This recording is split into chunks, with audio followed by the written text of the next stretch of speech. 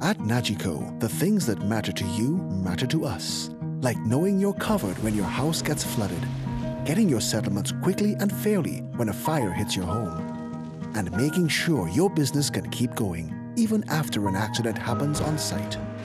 At Nagico, we're about much more than just insurance.